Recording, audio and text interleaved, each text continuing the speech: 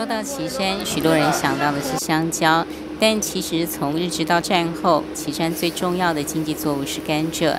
岐山人最深刻的回忆是糖铁。走进岐山车站糖铁故事馆，重新演绎了五分车的温馨年代。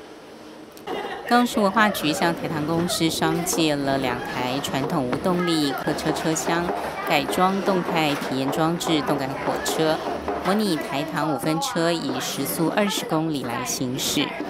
摇摇晃晃的车厢伴着铁轨的律动节奏，享受复古中的悠闲。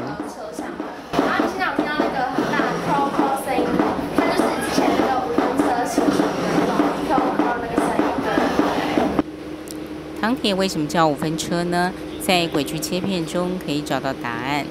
铁道轨距法定义所谓标准轨是一四三五公里，大于这个轨距的叫做宽轨，小于这个轨距的叫做窄轨。而糖铁的轨距是七六二公里，所以就称为五分车。